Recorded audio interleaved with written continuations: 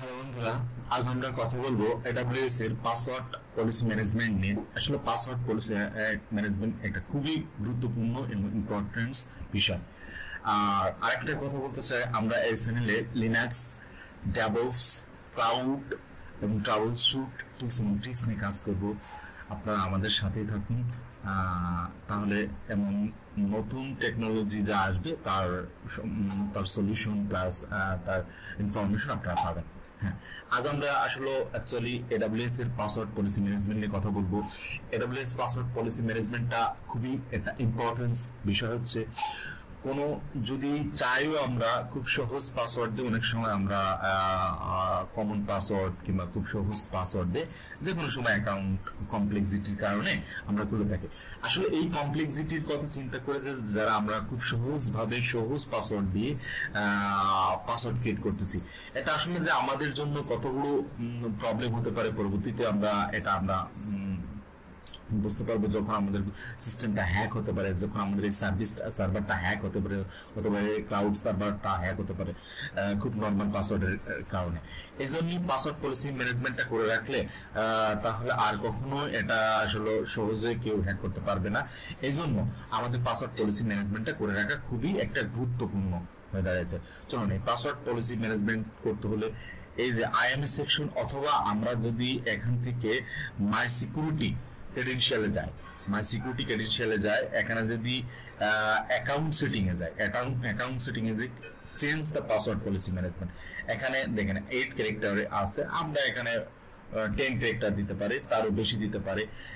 Recur এদের মানে কত, বড় হাতের দরকার, ছোট হাতের দরকার রিকার লাস্ট নাম্বার দরকার, একটা ই দরকার ইনাবল পাসওয়ার্ড পাসওয়ার্ড এক্সপি মানে এক্সপায়ার ডেট তা নাইনটিন ডেজ এর মাথায় অবশ্যই পাসওয়ার্ডটা এক্সপায়ার করবে। এটা একটা গুড পলিসি কারণ হচ্ছে একটা সিস্টেমের পাসওয়ার্ড কিছুদিন পর পরই চেঞ্জ না করি, তাহলে অনেক সময় এটা আমাদের সিকিউরিটির প্রবলেম হতে পারে। এই জন্য অবশ্যই একটা সাইলেন্ট পিরিয়ডে হলেও খুব প্রতিনিয়ত পাসওয়ার্ড চেঞ্জ করে রাখা খুবই একটা ইম্পর্টেন্ট বিষয়। এখন দেখেন পাসওয়ার্ড এক্সপায়ার রিকোয়ার্ড অ্যাডমিশন এখানে দরকার নেই আলাদা চেঞ্জ এখানে আমরা এই করতে পারি না কিন্তু আমাদের পাসওয়ার্ড করতে পারে। এখন যদি সেভ চেঞ্জ করে দিলাম, আমাদের পাসওয়ার্ড পলিসি ম্যানেজমেন্ট ক্রিয়েট গেল। হ্যাঁ এখন ক্রিয়েট হয়েছে এটাকে আসলে বাস্তবায়ন হয়েছে? চলুন আমরা যে একটা ইউজার ক্রিয়েট করে দেখি। ইউজার ক্রিয়েট করার সময় যখন আমাদের পাসওয়ার্ডটা চাইবে, তখন আমরা যদি আমরা অ্যাড করি ইউজার তাহলে যেমন আনফাইড আমরা একটা ই করলাম ইউজার ডাব্লিউএস এর, এখন পাসওয়ার্ড কাস্টমাইজ করব।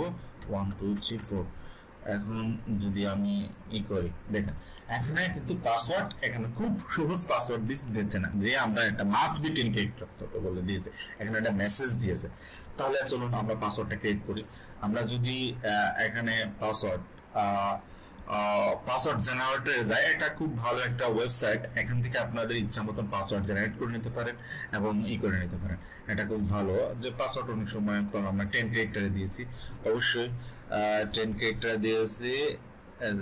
বড় স্ট্রং এবার একটা আমরা পাসওয়ার্ড ক্রিয়েট করলাম।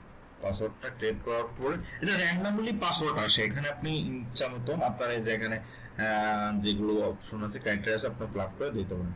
এখানে যদি আমি পেস্ট করি দেখেন আর মেসেজ দিচ্ছে না।